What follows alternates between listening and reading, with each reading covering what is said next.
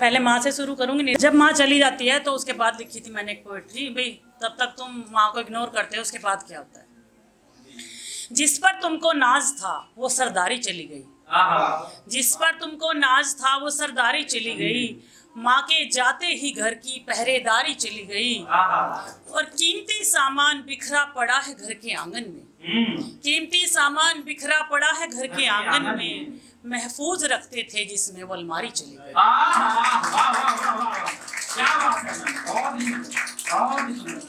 मेरी एक और जो मेरा फेवरेट है मैंने बाप बेटे पे लिखा है। बेटा कभी बाप के गले लग के खुश नहीं होता जब वो चला जाता है फिर रोते हैं उस पर लिखा है। एक ही घर की छत के तले नहीं मिलते। एक ही घर की छत के तले नहीं मिलते। सुबह या शाम ढले नहीं मिलते। अगले शेर पे दाद चाहूँगी एक ही छत के तले नहीं मिलते। सुबह या शाम ढले नहीं मिलते। और गहरी रफाकत होते हुए भी अक्सर। गहरी रफाकत होते हुए भी अक्सर बाप बेटे कभी गले नहीं मिलते। शुक्रिया। और दो मेरे फेवरेट हैं वो मैं हर जगह सुनाती हूँ आप थोड़ा अच्छा लगेगा।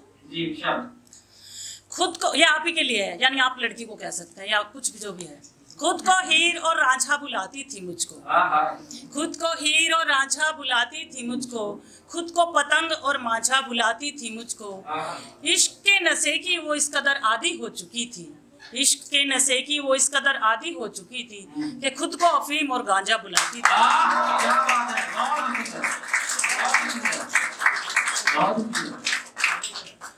और एक और मेरा फेवरेट है, दो लाइन का है। तेरी मोहब्बत का असर अभी बाकी है। तेरी मोहब्बत का असर अभी बाकी है। मेरे पागल होने में थोड़ी कसर बाकी है। और अभी ना थोड़ा सा आप ये मत सोचना है, क्यों लिख रहे हैं लड़कों के बारे में जो शादी नहीं करते ना, वो तो एक थोड़ा मजाकिया सा है। दुनिया की आबादी से डर नहीं लगता। दुनिया की आबादी से डर नहीं लगता। प्रीतम जी सुनिए। दुनिया की आबादी से डर नहीं लगता। अपनी बर्बादी से डर नहीं लगता। लेकिन जब से सुना है साली होती है आधी घरवाली। लेकिन जब से सुना है साली होती है आधी घरवाली तब से मुझे शादी से डर नहीं लगता। शुक्रिया। एक लड़कियों पे लिखा है अपने कुंद हौसलों को फिर से धार दे। अपने कुंद हौसलों को फिर से धार दे। किसकी मजाल है जो तेरा चीर उतार दे? और जुर्म रोकने को बस एक ही उपाय है। जुर्म रोकने को बस एक ही उपाय है। कोई एक मारे तो बदले में उसके चार दे। शुक्रिया। और अभी ना एक अच्छा नहीं लगता मेरे को एक तेरह साल के लड़के ने सुसाइड किया है। उसी पे थोड़ा सा लिखने की कोशिश की है।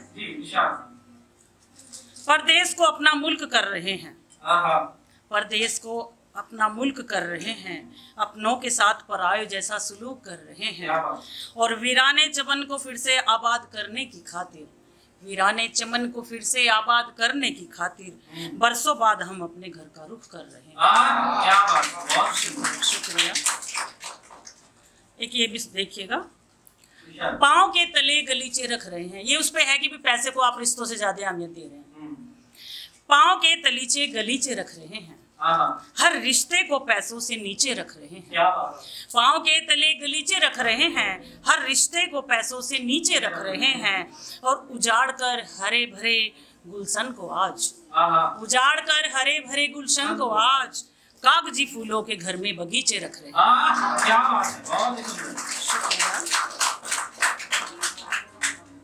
एक और सुने। अकेले ज़िंदगी बोर हो गई है। अकेले ज़िंदगी बोर हो गई है। परेशानी बहुत घनघोर हो गई है। और तुम्हें याद करने में तकलीफ़ हो रही है। तुम्हें याद करने में तकलीफ़ हो रही है।